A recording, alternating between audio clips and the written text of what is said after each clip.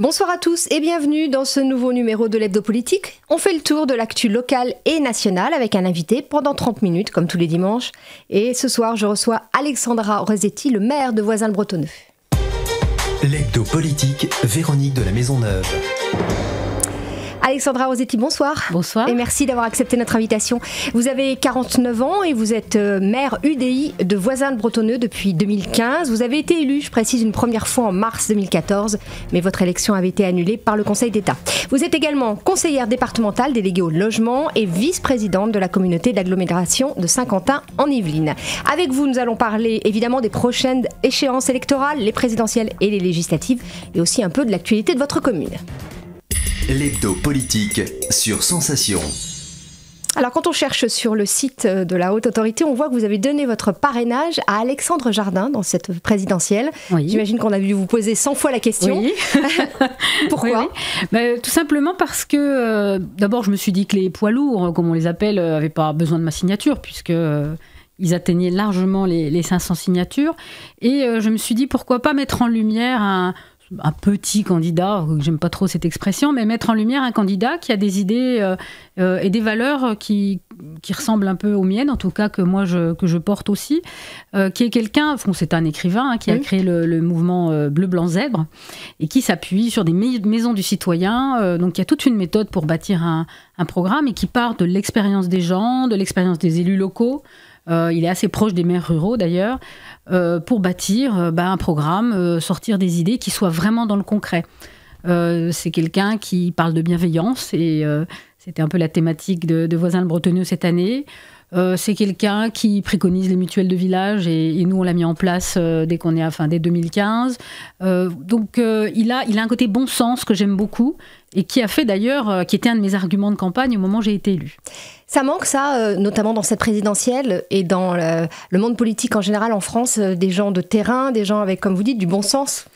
Oui, je pense que parfois on se demande, on, on a le sentiment que, que nos élus nationaux sont un peu loin du terrain. Alors ça ne veut pas dire qu'ils ne l'ont jamais été hein, sur le terrain justement, ou qu'ils n'ont jamais été élus locaux. euh, c'est pas, c'est souvent pas le cas, mais euh, voilà, on a, on a- je pense que les Français ont peut-être besoin aussi de sentir qu'ils ont des élus proches d'eux et qui comprennent vraiment leurs problématiques quotidiennes et qui sont pas que dans du principe, euh, voilà, et qui puissent s'adapter aussi aux idées qu'eux-mêmes pourraient avoir.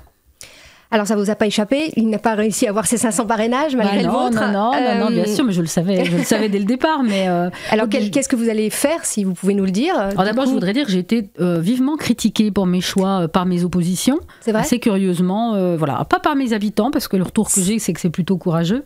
C'est euh, cette transparence aussi qu'il y a cette année, voilà. alors qu'il n'y avait pas l'habitude. Hein. oui, On bah, savait moi, pas j'ai- pour qui j'ai votaient nos aucun, élus. j'ai aucun problème euh, à, à dire ce que je fais. Voilà, enfin, ça a été euh, pas très bien vécu parce qu'on a vécu ça comme elle ne veut pas, être- elle veut pas se positionner. Donc, je suis pas le pion d'un parti. Je suis, je, fais partie de l'UDI. Euh, mais euh, j'est- j'estimais avoir le droit quand même d'avoir mon, libre arbitre sur ce sujet. Alors ce que je vais faire aujourd'hui, c'est vrai que euh, le choix est pas le choix est pas simple et en même temps, euh, voilà, je fais partie d'une famille politique, donc euh, euh, pour moi, il y aura pas beaucoup d'hésitation évidemment, mais euh, c'est vrai que beaucoup de C'est-à-dire François Fillon, soyons François. Fillon, voilà, euh, parce qu'il porte un projet qui me semble quand même euh, être un bon projet pour la France. Ceci dit, euh, on ne peut pas écarter toutes les inquiétudes euh, des gens qu'on rencontre au quotidien, leur, euh, euh, voilà, leur, un peu leur, leur lassitude de, de- de- de toutes ces affaires. Et voilà, je, mon, mon champion à moi était plutôt Alain Juppé, bien sûr, mais euh, voilà, les choses ne sont pas comme ça. Donc après, euh, une fois qu'un choix a été fait, ben, j'estime qu'il faut le respecter. Vous restez fidèle euh, à cette primaire de droite et du centre, Oui. alors que certains du centre ont été vers, par exemple, Emmanuel Macron. Ça vous Oui, a oui. pas effleuré un moment? J'ai regardé, très franchement, je, je regarde de près, je lis leurs ouvrages. Bon, Emmanuel Macron, hum, voilà, aujourd'hui ne me parle pas beaucoup. J'ai le sentiment que s'il était élu, il n'aurait pas une vraie majorité derrière lui, suffisamment solide pour pousser justement euh, les réformes indispensables. Donc ça me, ça me, ça me poserait un peu problème. J'ai bien peur qu'on arrive à un mode cohabitation qui soit peut-être pas très sain, parce qu'on a, on a un vrai besoin de redressement. Euh, donc euh, voilà, je préfère choisir un, candidat, je dirais, dont, le programme est bien clair, le positionnement est bien clair. euh, même si d'un point de vue moral, je, ne, suis un petit peu euh, quand même sur la réserve. Parlons-en un peu, même si on ne rentre pas dans les détails. C'est vrai qu'on est abreuvé par ces affaires. Tous les jours, il y en a de nouvelles. Euh, est-ce que ça ne montre pas quand même qu'il est un peu seul maintenant? Et est-ce que vous parliez de, de, euh, de, difficultés que pourrait avoir Emmanuel Macron à gouverner? Il y a beaucoup de gens qui l'ont quitté. Certains sont revenus aussi. Euh, voilà. Est-ce qu'il ne va pas avoir du mal à imposer ce, ce, programme hein, qu'il porte? Je pense que la difficulté euh, qu'il risque de rencontrer, euh, c'est de, parce qu'il va demander des efforts aux Français. Alors en plus. Et j'ai peur qu'à chaque fois qu'il demande des efforts, euh, les Français soient dans la rue, parce que c'est difficile de tenir un langage sur il faut être, faut faire attention, un langage d'austérité, quand soi-même on montre que pour finir on a un train de vie. voilà, qu'on a un train de vie, on est très à l'aise et tant mieux pour lui. Moi, j'ai pas de souci avec ça, mais c'est vrai qu'il y a des choses qui sont un petit peu regrettables dans tout ça. Et je crois que les Français, euh, ils, regardent leurs élus d'une façon euh, un peu méfiante, je trouve. Euh, et, et c'est pas bon pour nous non plus. C'est-à-dire c'est pas bon pour les petits élus locaux que nous sommes non plus, ce genre de choses. Voilà. je voudrais juste quand même signaler que, par exemple, à Voisin-le-Bretonneux, quand on a été élu, nous avons créé notre propre charte de déontologie. C'est nous qui l'avons écrite et on l'a écrite aussi de façon à ce qu'elle puisse être signée par notre opposition aussi. Et dans cette charte, par exemple, on dit qu'on s'engage à ne pas embaucher nos propres enfants dans notre collectivité. Voilà. C'est pas très sympa pour nos enfants, mais au moins euh, les choses sont dites clairement. Il faudrait ça au niveau national et notamment au niveau des, des, chambres. Hein, euh, Je pense que ça met en lumière le besoin de règles très très claires par rapport à nos parlementaires. Évidemment que M. Fillon n'est pas le seul à faire ça, on, s'en doute bien, et, mais, mais c'est sans doute parce que le, les règles ne sont pas clairement établies. Donc je pense que ça nécessitera un moment. Si on veut regagner la confiance des Français, eh ben, il faut donner des signes, tout simplement. Alors il n'y a pas que François Fillon hein, qui est touché par les affaires, Marine Le Pen également. Elle ne se rend même pas euh, chez les juges. Euh, elle, a le droit, mm. puisqu'elle est, encore une fois, mm. l'immunité parlementaire euh, européenne pour elle. Comment vous voyez cette, cette nouvelle affaire-là de, je qui touche là Marine Le Pen? Je trouve ça scandaleux de ne pas aller au-devant des juges. Au moins, M. Fillon y est allé. Voilà. je trouve ça scandaleux. Je trouve que pour les Français, c'est vraiment justement, là encore, un manque de respect voilà, des, électeurs. Et moi, personnellement, de toute façon, je, je combattrai toujours le Front National. Donc là-dessus, euh, j'ai aucun état d'âme. Mais je trouve que c'est pas respectueux des électeurs. Alors malgré tout, elle, alors avec les précautions, hein, parce qu'on sait ce que, ce que ça a fait les, derniers temps, euh, ces sondages, malgré tout, elle, reste euh, qualifiée pour le second tour en tout cas. Et François Fillon, lui, ne l'est pas pour l'instant, il reste plutôt troisième.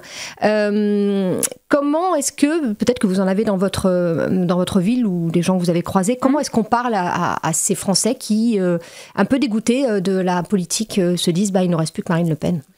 Je pense qu'il faut leur parler euh, modèle de vie, modèle de société. Qu'est-ce qu'on veut pour notre avenir? Est-ce qu'on veut euh, continuer à se, est-ce qu'on veut se replier sur nous-mêmes? Est-ce qu'on veut être ultra-nationaliste et, et, du coup ne plus jamais aller vers les autres? Ou est-ce qu'on n'est quand même pas plus fort quand on est tous ensemble, quand on mutualise les choses, quand on, on partage des valeurs?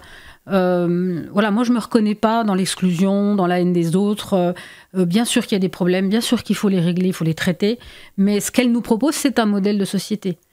Donc moi, ce modèle-là ne me convient pas parce qu'il n'est pas du tout ouvert et qu'il va créer plus de, de tension, de haine, d'opposition entre les gens, alors qu'on a juste besoin d'être rassemblés en ce moment. Mais c'est aussi le, ça montre aussi la peur et l'état dans lequel est le pays. Bah, il faut l'entendre, évidemment qu'il faut l'entendre parce que oui, euh, les gens ont peur. Euh, on est soumis, euh, c'est vrai que si on prend par exemple l'exemple des migrants, il y a eu un moment où, euh, on avait un peu le sentiment que bah, les maires étaient même pas prévenus ou à la dernière minute quand, quand l'État décidait. La préfecture vous imposait de les recevoir. Alors, c'est pas arrivé à Voisin, mais je connais mm. des collègues à, qui c'est arrivé. Euh, il y, a toujours cette espèce de, non-dialogue avec l'État qui est quand même dommageable parce que du coup, euh, on peut pas trouver des solutions ensemble. On est bon, voilà, donc c'est comme ça, c'est tout. Bon. donc je pense qu'il faut aussi que l'État, c'est pour ça qu'Alexandre Jardin me plaisait bien, il faut aussi que l'État soit à l'écoute des élus locaux euh, nous ne sommes pas des, nous sommes pas des, des, coupables, des, bandits ou des choses comme ça, parce qu'il y a des fois il y a des lois qui font qui nous traitent comme si euh, on était des repris de justice en permanence hein, et euh, qu'on ne respecte pas les choses. Donc je pense qu'il faut qu'il y ait un meilleur dialogue entre l'État et les élus locaux, parce que les élus locaux, d'abord, ils sont élus par leur population, ils sont élus sur un projet, ils sont élus sur des valeurs. et au bout du compte, bah, les lois font un peu fi de tout ça. Donc je pense que si on veut justement rassembler à nouveau les gens, eh bien, il faut améliorer ce, dialogue-là. Juste un mot sur le centre, puisque vous êtes Mhm. UDI. Euh, il était beaucoup plus fort hein, beaucoup plus Mhm. haut euh, dans le pays, enfin en tout cas dans les urnes. Oui. Euh, à une certaine époque, euh, on dit souvent, depuis très longtemps, que la France est plutôt au centre. Euh, et on peut dire que ce qui se passe avec Emmanuel Macron Mhm. prouve que peut-être les gens, justement, euh, Oui. voudraient bien euh, Ça aurait peut-être été l'occasion pour nous d'avoir un candidat. Voilà, voilà. C'est un regret? Ah oui, un vrai. Ah ouais? oui, oui, oui. Ouais. Oui. À, la- à la primaire ou comment vous à la auriez voulu primaire, euh, ou pas, non. Pas enfin, euh, voilà, bon, on a fait le choix de, de s'allier avec les Républicains, euh, pourquoi pas, mais euh, euh, peut-être qu'il y a un problème de leadership. Moi, je j'entends pas assez, moi, mon. J'entends pas assez Monsieur Lagarde. Lagarde, à mon sens, Lagarde, je, ouais. je ne l'entends pas assez. J'ai l'impression de ne pas l'entendre même. Euh, et donc, je pense que l'UDI est en train de, le centre est en train de se reconstruire en fait. Aujourd'hui, c'est le sentiment que j'ai, quoi. Parce que voilà, c'est ça. Parce que alors, puis d'un côté on a Bayrou qui lui suit euh, Macron. Euh, voilà, il y a plusieurs. Modem, euh, voilà. côté, le- alors c'est plus le nouveau centre, c'est les centristes, je crois, et puis le Parti radical. Et, Et les comment- Français sont perdus aussi. Hein. complètement, Ouais. donc c'est normal. Ouais. Donc c'est normal que la force se dégage pas aujourd'hui. Je pense qu'il faudrait un, il faudrait un leader vraiment charismatique qui, qui puisse faire émerger un vrai projet du centre.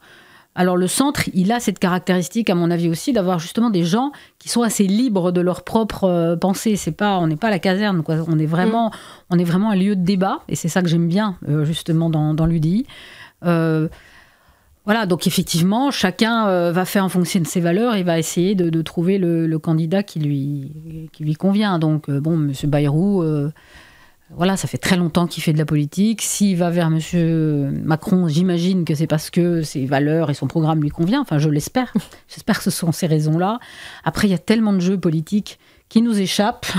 même, même à vous. Oh bah oui, Oui. Bah oui au niveau Oui. local, je pense que on, on touche du doigt qu'il se passe des choses au niveau Mm. national, mais franchement, ça nous, il y a beaucoup de choses qui nous échappent. ouais.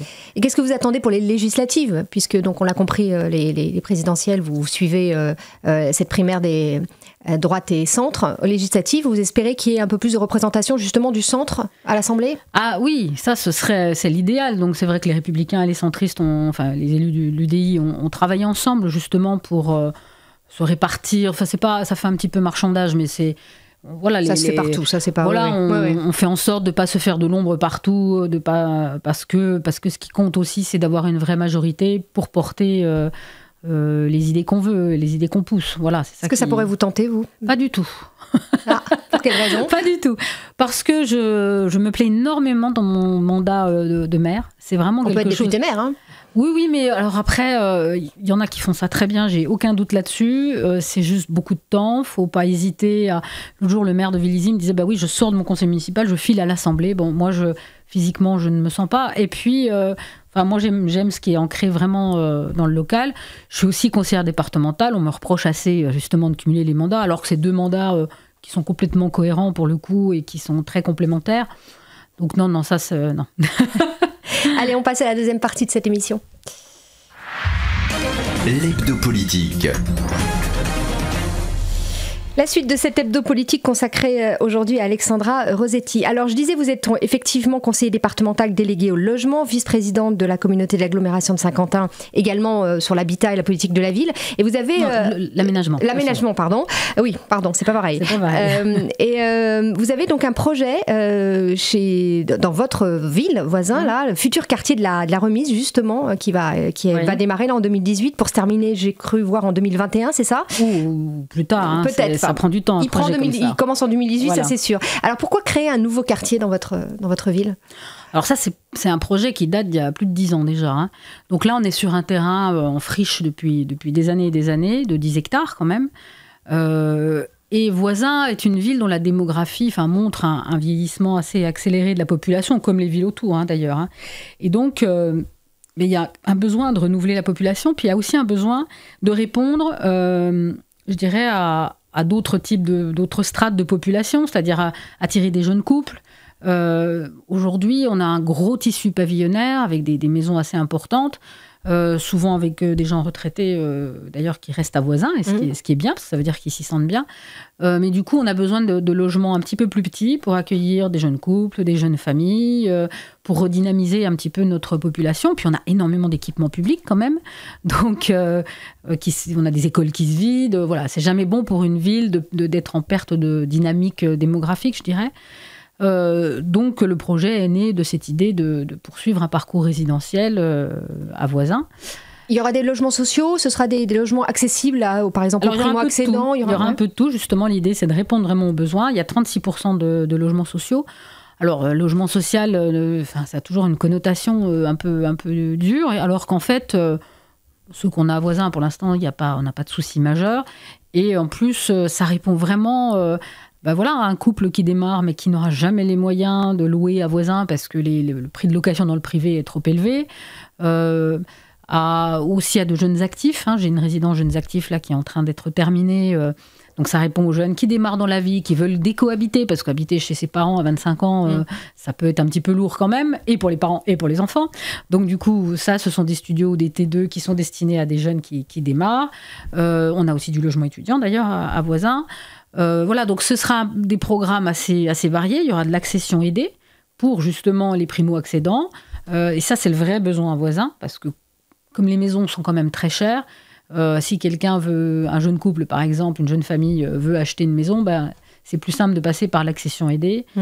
Euh, donc j'ai des demandes déjà, hein, des gens qui attendent. Euh, voilà, donc c'est vrai que ça va nous permettre de répondre aux problématiques du logement à voisin. Ce sera un éco-quartier, vous me disiez, c'est-à-dire euh, il répondra à des normes qui pour vous sont importantes? Ah oui, oui, oui. Bah, de toute façon, aujourd'hui, je vais vous dire, je crois que c'est pas possible de, construire le sens du temps. voilà, c'est l'évolution normale des choses. Donc oui, il sera éco-quartier dans la mesure où déjà les constructions répondront à des normes RT 2020 il va être construit dans ces eaux-là, donc mm. on va respecter les normes. Donc une excellente isolation. On s'est posé plein de questions pour les modes de chauffage. Bon, il y a des, parce y a des choses innovantes qui correspondaient pas forcément à la taille du quartier, mais du coup, ça nous a permis de regarder. On, travaille aussi sur l'innovation avec euh, des, la smart grid. Euh, voilà, donc on regarde tous ces sujets-là avec 50 ans en Yvelines. Ce sera un quartier euh, très vert. Il y aura beaucoup d'espaces verts, 66% d'espaces verts quand même. Euh, avec une rigole, euh, la rigole qui existe d'ailleurs aujourd'hui, qui va être euh, remise en, eau, si je puis dire, avec des nous. Enfin voilà, il y a un traitement de l'eau qui est écologique. donc il y a un gros travail qui a été fait là-dessus. Et un quartier aussi où les circulations douces doivent être, à mon sens, prioritaires. Alors, puisqu'on parle de, Vous voulez faire revenir ou venir des, habitants, il y a aussi une chose qui doit être importante, me semble-t-il, dans votre ville, c'est que la communauté d'agglo de Saint-Quentin vient d'annoncer l'ouverture euh, de prises éligibles au très haut débit pour, euh, pour vous. Euh, qu'est-ce que ça va changer pour, pour vos habitants? On a toujours l'impression que c'est bon, bah voilà, c'est Internet. Qu'est-ce que ça fait de plus et Alors, nous, c'est un peu plus compliqué que ça, enfin, plus, ou plus simple, je ne sais pas. C'est-à-dire que nous, sans la communauté d'agglomération, on a travaillé avec Orange et Orange est en train de fibrer voisin, tout simplement. Donc nous, ça va être, c'est en train d'être fait avec Orange. D'ici euh, mi-2018, tout le monde sera, tout le monde sera éligible à voisin. Mais c'est un vrai plus parce qu'à voisin, d'abord, c'était une très très grosse demande. Il y a des gens qui travaillent chez eux déjà, donc ça c'est extrêmement compliqué de travailler chez soi quand on n'a pas le débit euh, suffisant. Et puis toutes les technologies modernes, euh, je dirais sur la télévision, etc. Il faut voilà, les gens ont envie d'y accéder. C'est vrai qu'il y a un niveau social euh, assez élevé à voisin, donc euh, une appétence aussi pour ce type de, ce type de, produit. Donc, euh, donc nous, en fait, on est déjà en cours de... Voilà, on est en train d'être fibré. On avait un peu fait du lobbying auprès d'Orange, et puis ça s'est super bien passé. Et voilà, donc du coup, c'est parti. Et alors, autre chose que j'ai vu, je crois que c'est la première fois, vous me disiez, c'est une première en France, et j'ai trouvé ça très intéressant. La ville de Voisin propose un nouvel outil de communication qui s'appelle voisin.today. Oui. Alors, vous dites que c'est pour échanger autrement entre habitants. C'est très original comme. Alors, c'est un réseau social local. C'est vrai que c'est une première en France. Euh, ça permet, tous les habitants qui veulent peuvent venir s'inscrire sur ce réseau social. Euh, alors ça peut être par association, par exemple. Les associations, il y en a quelques-unes déjà qui sont inscrites, qui créent leur groupe, qui viennent y mettre leurs photos, qui font leurs annonces, euh, qui communiquent sur leurs résultats, etc. Ça peut être une ASL aussi qui crée son groupe le, groupe ASL et qui va diffuser de l'information comme ça. Et puis ça peut être aussi euh, des, thématiques. Euh, je crois que mon premier adjoint, qui est très féru de ça, a lancé une thématique développement durable, justement, où chacun peut venir discuter, poster quelque chose. Voilà. Donc c'est un réseau social local où chacun peut venir s'inscrire, créer un groupe, participer à un forum de discussion. Euh, et, pourquoi ne pas vous être raccroché à, des réseaux qui existent déjà ou de faire ça par exemple sur votre site internet ou des choses comme ça? Il fallait vraiment créer quelque chose de local. Oui, l'idée c'était d'avoir quelque chose qui ne soit pas, alors c'est la mairie qui le pilote évidemment, mais qui ne soit pas vraiment estampillé euh, officiel mairie. On a un Facebook où les gens peuvent s'exprimer, on a un compte Twitter, enfin on a tout ce qu'il faut, mais, mais là c'est vraiment l'idée de se dire ben euh, il y, a, y a quelque chose un petit peu à part. Bon, après, on fait attention quand même à ce qu'il n'y ait pas de. Enfin, il y a forcément un modérateur, mais jusqu'à aujourd'hui, on n'a jamais eu de problème, hein, donc euh, on n'a rien eu à modérer. mais euh, voilà, c'était d'offrir la possibilité aux Vicinois de communiquer entre eux Et pour l'instant, ça mord les gens ça commence, à, ça commence à mordre. Mon premier adjoint est allé voir un peu les commerçants, est allé voir les, justement bah, les ASL, enfin on, en parle aux associations, voilà, tous les, toutes les personnes que ça pourrait intéresser. Et régulièrement on communique dans le journal pour dire de ce qui se passe dedans, euh, de quoi parlent les gens, etc. Donc euh, on peut mettre des petites annonces pour vendre quelque chose, on peut mettre, enfin chercher du boulot, sais, on peut tout faire. Mm. Euh, vous êtes jumelé avec une ville allemande, euh, mhm. comme beaucoup de villes euh, françaises. Vous êtes. comment est-ce que vous, est-ce que vous, il vous semble que l'Europe est menacée en ce moment? D'abord menacée, on a, mhm. on a eu malheureusement à Londres il y a quelques, il y a quelques jours, menacée par le terrorisme. Mais, l'idée de l'Europe, revenons à ce qu'on, ce qu'on disait, mhm. notamment il y a pas mal de, notamment Marine Le Pen qui souhaite la sortie de l'Europe. Est-ce que vous, dans une petite ville comme ça, vous ressentez qu'elle est menacée cette Europe? Alors, dans voisin, non, parce qu'on a très très bonnes relations. On a jumelé aussi avec euh, l'Écosse et la Pologne. Donc euh, ça se passe très bien, on a mm. des relations euh, très, très cordiales et on n'hésite pas à, échanger. après, sur un point plus général, oui, ça m'inquiète.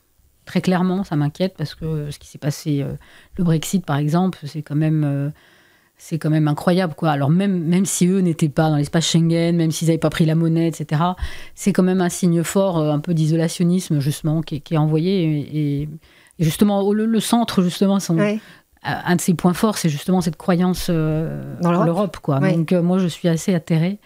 Et ça, c'est une autre des raisons pour lesquelles Marine Le Pen me semble être quelqu'un de dangereux. Est-ce qu'on peut changer quelque chose dans l'Europe? C'est-à-dire que l'idée de l'Europe, de toute façon, euh, qu'ont fait les pères fondateurs, n'existe plus. Il faut, il faut peut-être la, la moderniser, euh, l'adapter ah, à notre société. Bah, sans doute. Au bout d'un moment, euh, quand les choses ont duré trop longtemps, il faut entendre la voix des, la voix des citoyens qui peut-être se trouvent, ont l'impression d'être dans un carcan. C'est très loin de nous. C'est vrai qu'il se passe plein de choses. Il y a plein de lois qui sont votées au niveau européen et qui nous retombent dessus après et on ne comprend pas pourquoi parce que forcément tous les pays n'ont pas les mêmes intérêts. Donc c'est peut-être des choses à retravailler pour que ce soit plus lisible aussi pour les citoyens et qu'ils y comprennent leur intérêt. Peut-être qu'aujourd'hui, effectivement, ça s'est un peu trop éloigné du peuple. Alors en ce moment, on est en état d'urgence et vous avez choisi d'armer votre police municipale, en tout cas avec un pistolet à impulsion électrique. Euh, bien précisé, c'est pas n'importe quelle arme. Euh, voilà, euh, ça vous semblait quand même important, même, même très utile que votre police soit ça a été un long débat. Ça a été un long débat dans mon équipe. Euh, on a vraiment voulu tout peser parce que j'avais la pression de l'opposition. Il fallait absolument mettre des armes létales. Euh, il y en avait une autre d'ailleurs, fallait pas en mettre du tout. Vous voyez, donc j'étais un petit peu dans, ce, dans ce faisceau-là et j'ai pris le temps avec mon équipe. On a vraiment pesé les choses. Euh, mettre une arme létale dans les mains de quelqu'un, c'est pas rien. Euh, ça, demande, euh, ça demande un entraînement qui n'est pas juste une petite formation qu'on va faire pendant deux mois dans un stand de tir. Il y a aussi psychologiquement, mm. je veux dire, le fait de tenir une arme, etc. C'est, pour nous, ça nous semble être quand même un acte assez fort. Mm. Euh, je ne veux pas qu'on substitue la police nationale. j'ai toujours dit que s'il y avait un événement grave sur ma commune, c'est pas la municipale que j'enverrais, évidemment. Mm. Enfin, je veux dire, c'est pas à eux de prendre ces risques-là. Mais néanmoins, on s'est dit, il faut quand même qu'ils aient les moyens de se protéger s'ils étaient attaqués, euh, voilà, peut-être à l'arme blanche ou des choses comme ça. Comme à Londres. Comme à Londres, voilà, qu'ils puissent dégainer quelque chose pour se défendre. C'est vraiment dans cette idée-là. Euh, après, ce que j'ai dit aussi à mes opposants, c'est que si je leur donne une arme létale et qu'il y a un accident, qu'ils tuent quelqu'un, ou que l'arme se retourne contre eux, c'est quand même ma responsabilité. Mmh. Mmh. Donc, euh, c'est une responsabilité que je ne voulais pas assumer. Maintenant, peut-être. Et les habitants, vous avez eu les échos? Alors, ils, ont compris? Aucun. Ça n'a pas été un débat euh, voisin. Pourtant, euh, je me suis dit, mes opposants ont essayé d'en mhm. faire un.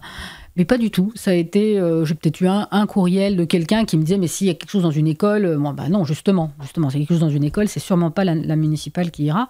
Ça demande un entraînement particulier, ça demande. Donc voilà, alors je sais que ma police aurait préféré être armée d'une arme létale, mais ils ont aussi compris, voilà, les choses. Après, selon les candidats, vous voyez, par exemple, ça c'est dans le Monsieur Fillon, il veut les armer. Bon, moi, je, ça c'est quelque chose que je ne, ça m'embête. Voilà. Une dernière question un peu plus euh, personnelle. Euh, vous me disiez tout à l'heure euh, qu'il n'y avait que 5 mères femmes sur le département. Non, non, pas sur le département, sur, 50, ans, en Yvelines. Sur 12. Pardon, sur 12, on, a, progressé. Et sur le département, ils sont, elles sont quand même pas très très nombreuses. 55, je crois, sur, voilà. quelque chose comme ça. comment est-ce qu'on peut être femme et, politique en France? Ah. C'est compliqué ou pas? Euh, c'est compliqué, vous voulez dire au niveau personnel ou au niveau euh, aussi, mais là je veux pas rentrer dans, dans votre vie Voilà. personnelle. Moi, mes enfants sont grands maintenant, voilà, donc voilà. du coup, c'est vrai que c'est plus un sujet parce que ça, ça peut être un sujet. Ouais. Quand j'ai débuté, que j'étais mère adjointe, mon petit dernier avait 4 ans, donc c'est vrai que c'était compliqué parce qu'il fallait le faire garder, faire garder les enfants, etc. Donc ça, c'est pas simple pour une femme Mm. déjà. Euh, moi, j'avais la chance d'avoir un métier qui me laissait quand même un peu de temps, donc euh, ça. Professeur, c'est ça? professeur, Ouais. j'étais à temps partiel, donc Mhm. ça, ça, ça m'a pas mal aidé. Euh, après, c'est un monde, euh, oui, c'est quand même un monde qui reste assez masculin.